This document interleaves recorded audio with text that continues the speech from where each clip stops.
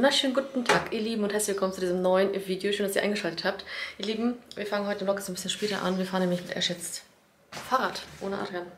Er wollte nicht mit. Er sagte, er hat hier noch äh, was ähm, zu arbeiten, liegt jetzt gerade in der Sonne und äh, ich habe schon Fahrräder rausgeholt. Draußen ist es recht warm, wir haben über 20 Grad. Ich glaube 25, 26 oder so.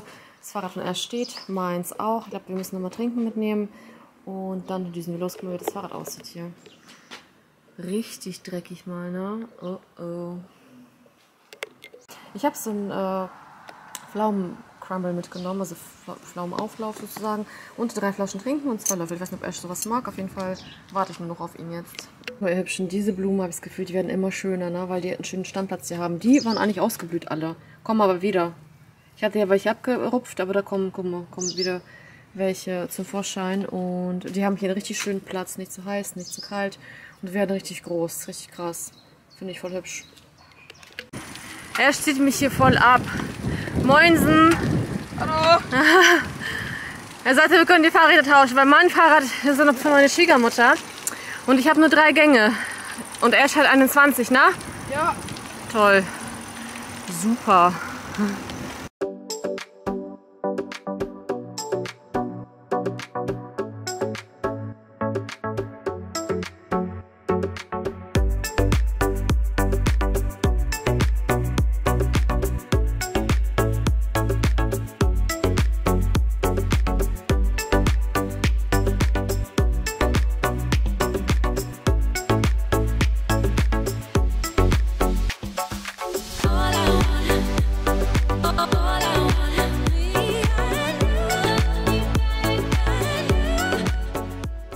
Der Bengel ist jetzt vorgefahren. Er dachte, es kommt gleich ein heftiger Berg da.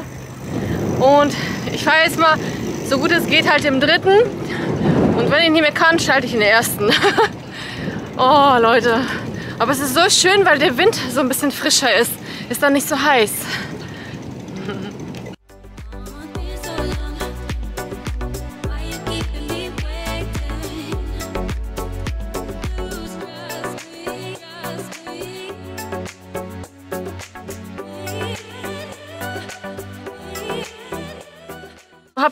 Die Linse sauber gemacht. Das ist besser für euch. Ich habe es darauf ge so gepustet und dann mit dem T-Shirt äh, sauber gemacht. Äh, du willst nicht trinken? Wir haben eine kleine Pause. Ich dachte, wir tauschen die Räder. Willst du denn? Ja. Nein. Ich, ja. ich fahre mit deiner, meiner alten Gurke. Ich will nur mal ausprobieren.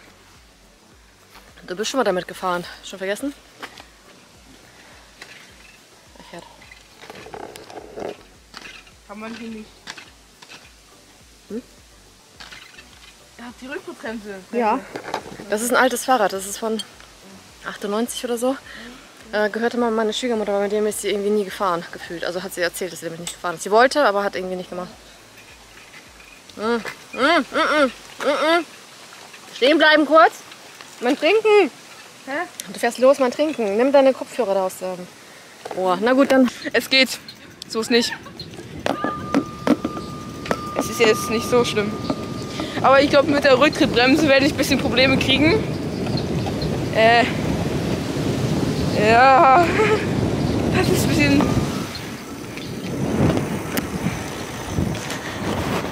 Das ist ein bisschen...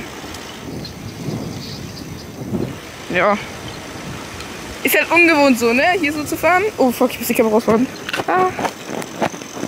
Oh, er ist jetzt die ganze Zeit mit meinem Fahrrad gefahren von da ganz hinten und ich bin mit seinem gefahren und ich muss sagen, sein Fahrrad fährt sich irgendwie einfach, habe ich das Gefühl. Ja. Und meins? Ist auch gut. Du bist noch jung. Ja, beides. So, ich möchte gerne mal ganz kurz was trinken und da kommt schon ein Pferd angeritten hier. Das ist voll cool. Picknick? Ich habe was mit. Nein, Essen. Er will schon nach Hause. Nach Hause. mhm. Cool, ne? Wenn man so hier reitet bestimmt. Das ist ganz nett. Ja, hier ist unsere Picknickdecke. Guck mal, Ash.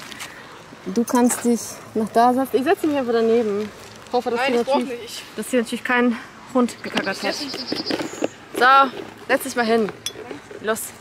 Setz dich hin. So nicht hin. Und dann. Also, ich habe jetzt hier meinen Crumble mit. Ich hoffe, dass ich das hier alles nicht voll schmiere. Schmeckt aber wirklich super lecker. Hast du schon mal probiert gestern? Nee, ne? Wolltest du nicht? Ja. Okay, also guten Appetit. So, unser Picknick Mein Picknick ist fertig. Erst wollte mir nichts haben. Oh, wie süß. Du schenkst mir eine Blume ein. Hier ist ein Getreide. Nee, was ist das hier? Irgendwas anderes, ne? Äh, ich habe äh, die Hälfte geschafft. Mehr geht irgendwie nicht. Aber es ist hier so schön. Natürlich dreht sich dieses Rad hier unheimlich äh, laut. Ne? Man hört das total. Ähm, aber man hört noch die äh, Vögel. Auf jeden Fall wollen wir jetzt weiter. Trinken ist leer. Und jetzt geht es einmal Richtung nach Hause. Ich kann es kaum abwarten, ne? Er hört mich nicht. Er hat seine Kopfhörer. Hörst du mich doch? Hörst du mich doch? Ja, na gut, dann hört er mich doch. Hier ist auch noch mal Mais gepflanzt. Sonst haben wir Getreide hier ganz viel. Raps dieses Mal nicht. Aber ganz viel äh, Getreide eigentlich, also Weizen überwiegend. Ne? Da die Seite. Nehmen alles zurück. Hier ist Raps ausgeblüht, aber noch nicht abgemäht. Ne? Hier ist überall Raps. Ja, na gut. Ich weiß ja gar nicht, wann das überfällig ist. Also wann sie, dachte, Raps mähen die recht zügig ab, aber irgendwie nicht so ganz. Also ja gut, aber in dieser Ecke muss ich sagen, waren wir schon länger nicht mehr. Ich hoffe, dass die Kamera jetzt nicht ausschalten, wenn ich äh, ausschalte aus Versehen äh, oder auch nicht das Mikro zumache. Äh, ja, auf jeden Fall ist das Wetter heute total schön geworden. Normalerweise haben die gesagt, heute ist alles total bedeckt. War aber überhaupt nicht, ne? Oh, ein Hase. Oh ja, ab ins Feld. Da war ein Hase gerade eben. Voll süß. Kleines Häschen. Ist jetzt irgendwo im Rapsel verschwunden. Irgendwo ist es da jetzt. Na gut, ihr Lieben. Also wir fahren jetzt Richtung nach Hause und genießen einmal diese Sonne noch, die noch da ist. Morgen, äh, übermorgen soll es, also morgen nicht, aber übermorgen soll es sehr, sehr heiß werden. Und ähm, morgen kommt das Auto weg. Ist auch blöde. Einmal zur Reparatur.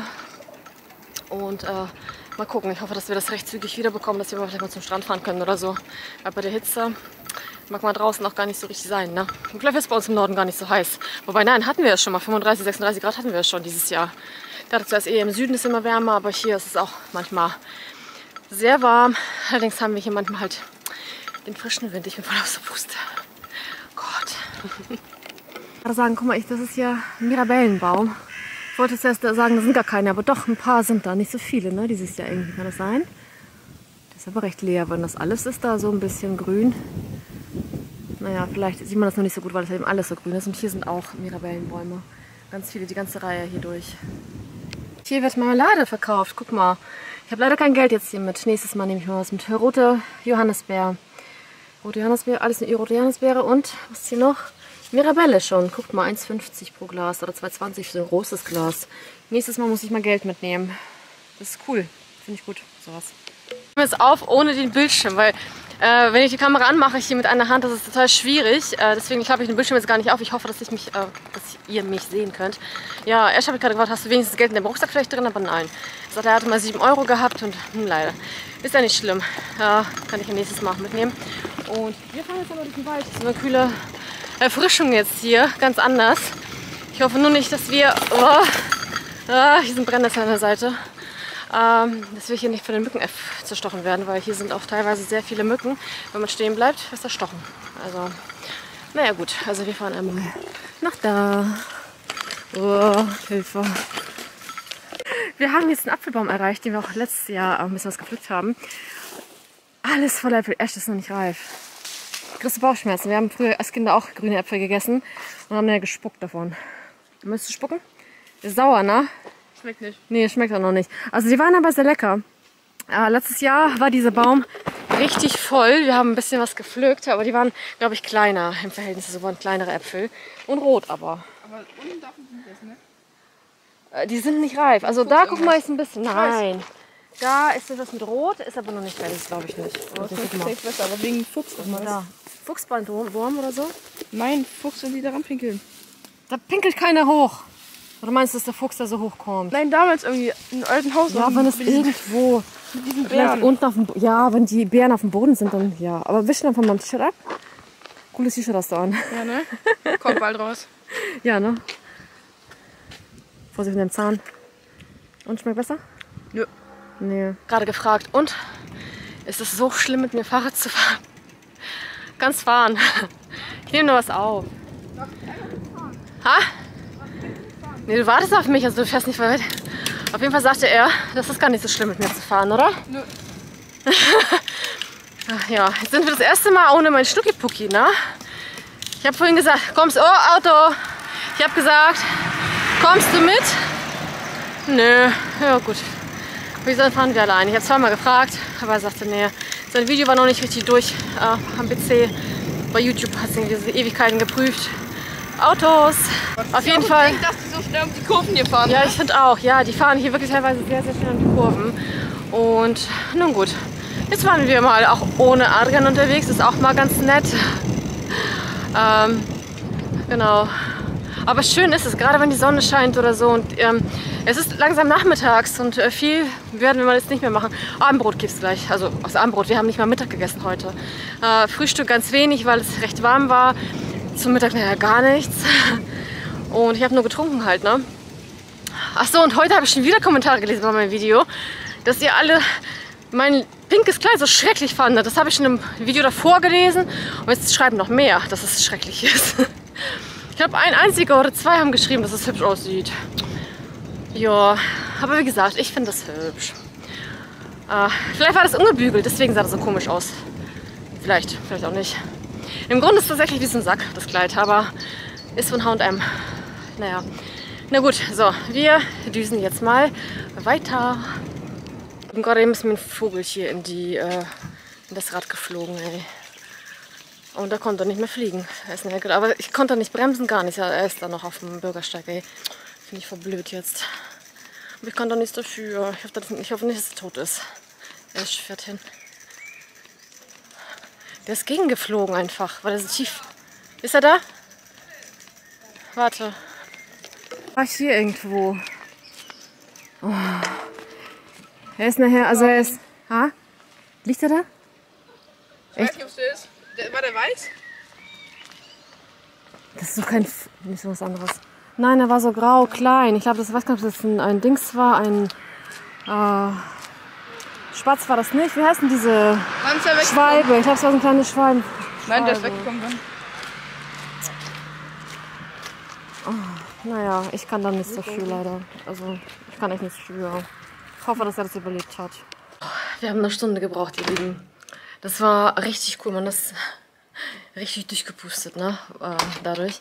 Jetzt muss ich meine Blümchen gießen, ansonsten äh, sehe ich schwarz. Heute, äh, heute war das den ganzen Tag irgendwie recht warm, deswegen äh, brauchen die unbedingt Wasser. Das Gute ist ja, dass ich äh, diesen Bereich jetzt hier aus der Regentonne hier gießen kann. Und das da in der äh, Regentonne ist tatsächlich wahrscheinlich ein Pilz, schätze ich mal, was zwischen Steinen ent, entstanden ist. Mein Schnucki hat das mal gezeigt, haben einige geschrieben, das ist wahrscheinlich so ein Pilz. Achso, und dann wollte ich euch nochmal meinen Olander zeigen, der ist so schön. Der blüht richtig schon. Das ist richtig cool. Guckt mal. Ich hoffe, dass mir der hier nicht verbrennt ne, in der Sonne. Ich habe schon einen Schirm extra aufgestellt. Und hier haben wir eine Biene. ähm, guckt mal, wie der blüht. Voll hübsch, oder? Richtig hübsche Blüten und er ist gewachsen, richtig gewachsen. Ich muss nur gucken, wie ich den überwintern lasse. Guck mal, ganz hübsch. Ja, und äh, ich muss jetzt hier alles gießen. Gestern habe ich auch ähm, hier die Rispenhortensie gegossen, äh, auch hier gegossen. Schmetterlingsflieder blüht schon, guck mal, sieht richtig hübsch aus. Äh, hat ein bisschen hier Blätter verloren, also die waren vielleicht zu viel äh, Trockenheit gewesen oder so, schätze ich mal, ne? Aber ist richtig hübsch. Und Schmetterlinge sind jetzt natürlich abends nicht mehr so da. So, die lasse ich hier noch. Hier sind noch äh, ein paar Blümchen, die immer wieder kommen hier. Äh, hier sind ganz viele Wespen, äh, Wespen, Bienen und Hummeln. Die sind hier in Gange. Äh, diese Blume ist ja auch total schön hier gekommen. Also die Betonie, die müssen wir ein bisschen hier abmachen. Auch so eine Fusselarbeit, ne? Man muss jeden Abend, jeden Tag am besten halt, äh, die nicht mehr so schön sind, abmachen. Und aber die ist auch richtig gut gekommen. Zuerst habe ich gedacht, so, ob das hier nicht so heiß ist, aber nö. Geht. Also die verbrennt hier zumindest nicht. Ist auf jeden Fall sehr, sehr riesig geworden, finde ich jetzt. Es sind zwar drei Pflanzen hier, aber trotzdem finde ich sie wirklich sehr groß. So, weg. Diesen äh, Sukkulenten habe ich so ein bisschen Bedenken, weil ich hier teilweise sehr, sehr heiß ist. Mittlerweile aber ist es so, dass ich diesen hier ein bisschen höher wachsen lasse. Ist natürlich blöd fürs Fenster, aber ist nicht schlimm. Ähm, dann ist hier Schatten. Dann verbrennt hier nicht alles. Und die gieße ich auch schon regelmäßig. Die sind auch hier total schön. Eigentlich habe ich schon gedacht, die verbrennen mir garantiert, aber halten sich nur ganz gut. Auch diese hier habe ich total lange, sehr, sehr lange. Halten auch noch. Also noch ist nichts passiert. Hat mir jemand geschrieben, äh, dass es so extra Dünger gibt. Das wusste ich gar nicht für Hängepflanzen oder so. Wurde mir geschrieben. Die Firma wurde auch genannt, aber ähm, habe ich jetzt gerade vergessen. Ich muss ein bisschen was abzupfen, abrupfen. Und ähm, dass diese, also ich dünge diese äh, Petunie einfach mit dem normalen Dünger, der für alle Pflanzen geeignet ist. Und pool natürlich hier immer wieder ab. So eine schöne Therapie, ne? so eine Beruhigung. Ich finde die wirklich total schön. Ich hoffe nur, dass sie mir allzu schnell nachher, ähm, dass mir die Blätter nicht so schnell gelb werden. Das wäre dann nicht so cool. Ne? Ich pool zwischendurch auch mal die Blätter mal ab oder so. Aber ähm, sieht natürlich schöner aus, wenn die grün sind, ne? Und nicht trocken. Wie gesagt, hier hat sie eigentlich schon einen schöneren Platz als drüben in der Südseite. Hier ist es ein bisschen mehr Schatten nachmittags. Ja. Nur gut, ihr Lieben. So, Kinder waren heute im Pool wieder, die haben aber alles wieder drauf gemacht, die ganze Plane. Und ich mache mich jetzt einmal kurz ans Rasen, äh Quatsch, Blumen gießen und guckt mal, die haben hier auch einen wunderschönen Platz. Die sind hier auch sehr gut gekommen. Das ist richtig cool. Hier ist es auch nicht zu heiß. Na gut, ich schnappe mir mal ganz schnell jetzt eine ähm, Gießkanne und dann gieße ich. Und übrigens das hier äh, ähm, geben die Kinder als, ähm, als Chlor quasi, oder das ist ja Chlor hier, in den Pool rein. Dieses hier haben die bei Bauhaus gekauft scheinbar, genau. Kannte ich gar nicht, aber äh, bringt aber was, ne? Das Wasser ist nicht mehr so eklig, wie das mal war.